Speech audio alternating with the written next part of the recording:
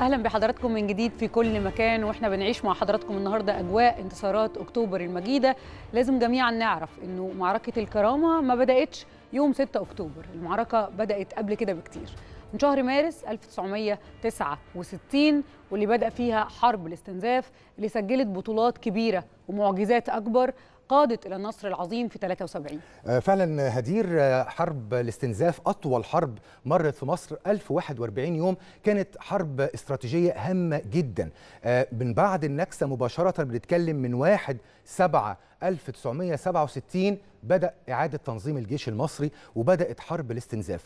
مراحل كتيرة جدا الدفاع بصورة مستمرة لمقاومة أي مبادرة عسكرية إسرائيلية. عشان نفهم حرب أكتوبر بشكل كويس لازم نذاكر ونفهم اللي حصل في حرب الاستنزاف. حرب مهمة جدا. كان في إجراءات استباقية كان في عمليات عسكرية وإنجازات عسكرية مصرية مهمة جدا خلال حرب الاستنزاف. المرحلة الثانية فيها كانت هي حرب الحرة المباشرة وحرب الكرامة والنصر ومبادرات قامت بها القوات المسلحة المصرية خلال حرب الاستنزاف. تعالوا مع حضراتكم نشوف لمحة كده وتقرير عن أهمية حرب الاستنزاف في تاريخ العسكرية المصرية.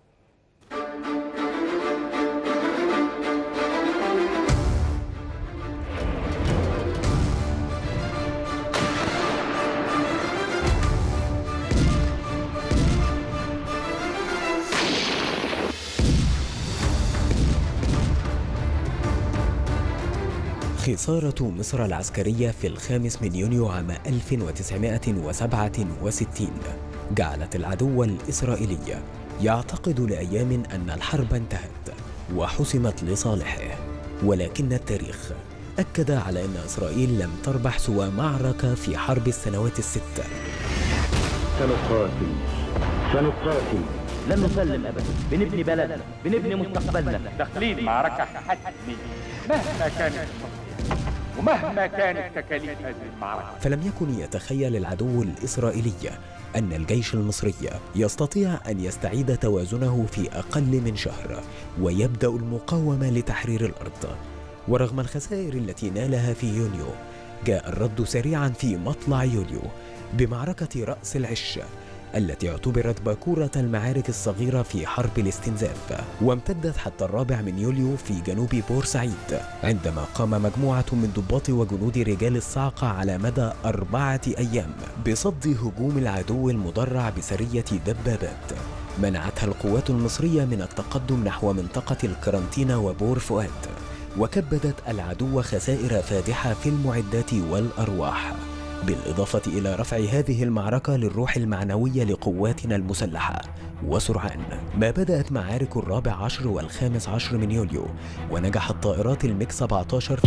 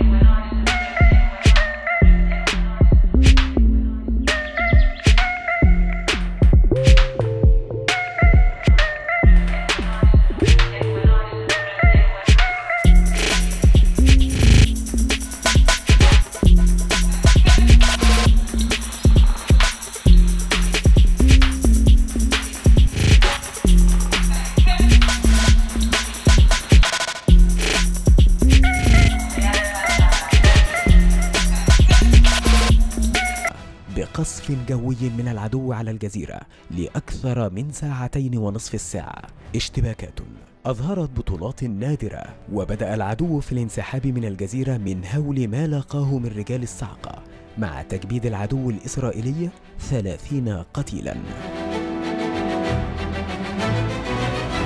هجمات وانتصارات مصرية متوالية سببت خسائر في الأفراد والمعدات.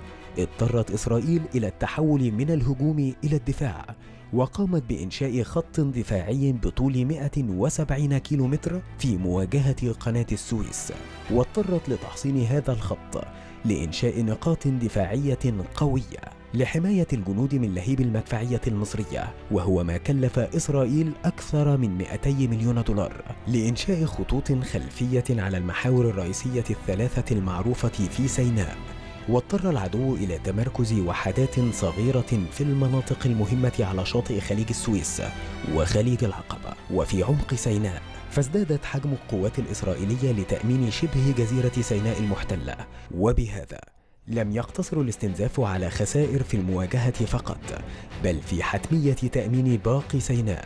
الأمر الذي أثر على الاقتصاد الإسرائيلي ليتشبث العدو بمبادرة أمريكية عام 1970 كوسيلة خلاص لإخراج جيشه من الوضع المعقد الذي عاشوا فيه محاصرين في الأرض المصرية التي تم احتلالها في حرب الأيام الستة طوال حرب الأعوام الثلاثة التي تعرف بحرب الاستنزاف التي كانت مقدمة للعبور العظيم في السادس من أكتوبر التي جعلت الإسرائيليين يبكون على أطلال 1967